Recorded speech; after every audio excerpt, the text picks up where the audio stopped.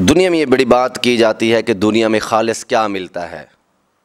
आजकल देखें तो बड़ी मुश्किल से कोई चीज़ खालिस मिले। दूध में मिलावट, मरचू में मिलावट, मिठाई में मिलावट होती है और दवाइयाँ जो मरीज़ को खिलाई जाती हैं, उसमें मिलावट होती है। तकरीबन गोश्त हो गया, मीठी चीज़ें हैं, खुराक है, आटा है, गंदम है सारी चीज़ों में मिलावट। अब तो हालत ये हो चुकी है कि जो फल होते हैं, उनको भी रंग किया जा रहा है। रंग करके रेड बना देते हैं, लाल बना देते हैं और पैसा कमाया जाता है। लेकिन अगर गौर से देखें तो दुनिया में खालिस क्या चीज़ है? अल्लाह और उसके रसूल की जो मोहब्बत है बंदे के साथ अल्लाह की मोहब्बत और रसूल पाक वसल्लम की मोहब्बत उम्मती के लिए तो बिल्कुल फ़ाइनल है। इसमें तो कोई शक नहीं है। लेकिन इस दुनिया में, इस जहाँ में, इस रुए ज़मीन पर सबसे जो ज़्यादा खालिस चीज़ है, वो माँ का प्यार है। माँ का जो प्यार है, ये बहुत ही खालिस इसमें मिलावट नहीं है। मिलावट है तो फिर माँ नहीं है। ऐसे हो ही नहीं सकता कि माँ हो और उसके प्यार में इखलास ना हो, मुखलिस ना हो औलाद के लिए। क्यों वो सारी रात बेदार रहती है, जागती है, खाना नहीं खाती? बीवी भी तो सोई होती है, औलाद भी तो होती है, बहन भाई भी तो होते हैं। उन्हें नींद आ जाती है और माँ को नहीं आती, क्योंकि उसके दिल में अल्लाह ने मोहब्बत डाली है, अल्लाह ने प्यार रखा है। तो माँ की मोहब्बत बड़ी खालिस है। तो हम लोग ये भूल गए हैं। हम कहते हैं, फ़लाँ दोस्त खालिस है, मुखलिस है, फ़लाँ ठीक है, होंगे मुखलिस, लेकिन माँ से बढ़कर कोई खालिस और मुखलिस नहीं हो सकता। पूरी रुए ज़मीन पर, दुनिया के जिस मुल्क में, जिस इलाके में जाएँ। तो अल्हम्दुलिल्लाह, अल्लाह ताला ने इस्लाम की दौलत से माला माल किया है, और इसलिए तो फरमाया है कि जन्नत आपके माँ के कदमों के नीचे है।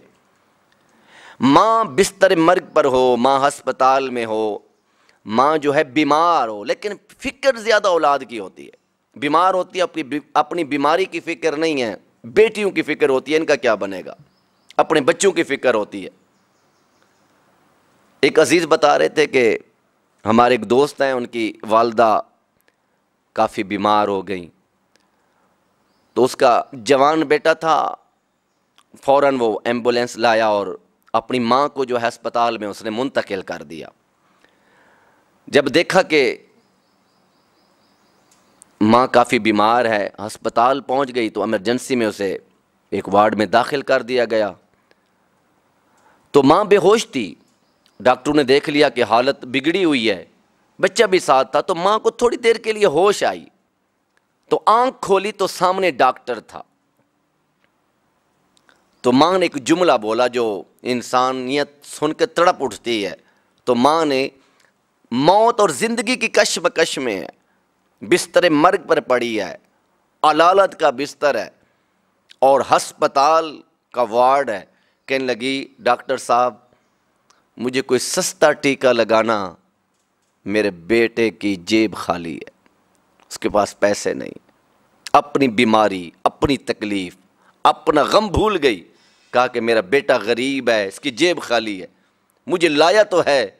लेकिन कोई सस्ता टीका लगा देना। तो माँ का जो प्यार है, ये बड़ा खालिस है। इसके अंदर बड़ा इखलास है।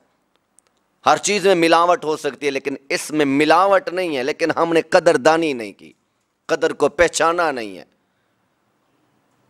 हम रोज़ जो है आगे बोलते हैं, बातें करते हैं, इग्नोर करते हैं, बेअदबी और गुस्ताखी की हद तक पहुँच जाते हैं। खुदारा अगर अल्लाह ताला ने आपको ये नेमत बख्शी है, आपकी माँ ज़िंदा है, हुसन सलूक से पेश हैं, अदब और एहतराम से पेश हैं। अगर मर गई हैं तो उनके लिए बख्शिश की दुआ मांगे। हर नमाज़ के बाद उनके लिए इस्तफ़ार करें। हर जुमा वाले दिन उनकी कब्र पर जाकर सूरत यासीन पढ़ें। उनकी रूह खुश होगी और जिन पर वालदेन खुश और राज़ी होते हैं, अरशों का रब भी उस पर राज़ी होता है। और फरमाया गया है कि जो रोज़ अपने माँ बाप के लिए दुआ करता है, अल्लाह उसकी रोज़ी में बरकतें अदा फरमाता रिज्क में फरावानी मिलती है, कुशादगी हो जाती है। लेकिन हम बहुत सारे वज़ाइफ, बहुत सारी चीज़ें और बहुत सारे आमाल तो करते हैं और ये अमल जो ख़ास अमल है और इखलास वाला और मुखलस अमल है, हमने इसको तर्क कर दिया है। तो ये बड़ी खालिश चीज़ है, इसकी इज़्ज़त करें और इसकी कदर को पहचानें। दुनिया और आखरत में बेहतरी आ सकती है।